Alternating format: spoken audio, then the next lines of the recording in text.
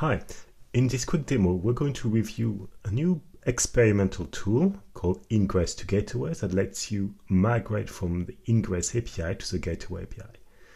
The first thing to do is to uh, clone the repo, and the main requirement is going to be Go to be able to run um, this tool.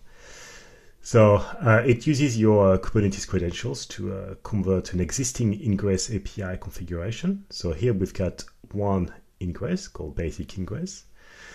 And as you will see here, what it does, it's uh, it, it, routes traffic to um, the details backend of port 9080 uh, based on the slash details path. And for the kind of home page, we'll go to the product page.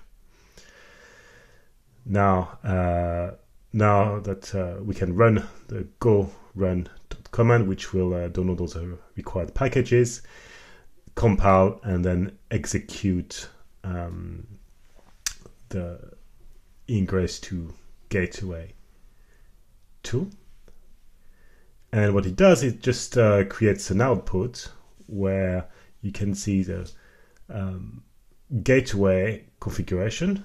Now with gateway, we've split the um, resources into multiple uh, resources. So you get one for the actual gateway and one for the actual HTTP routes.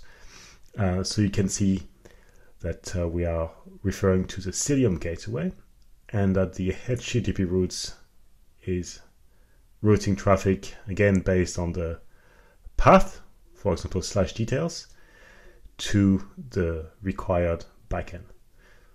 So again, it's kind of use at your own risks. It's uh, still an experimental tool. Um, it worked great with me as in uh, deploy this configuration with the Cilium Gateway API, and it worked perfectly.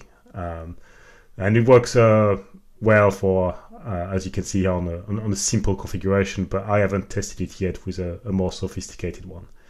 Uh, but you know, it could be worth exploring for you uh, as you look at uh, migrating from Ingress to the Gateway API. Thanks for watching.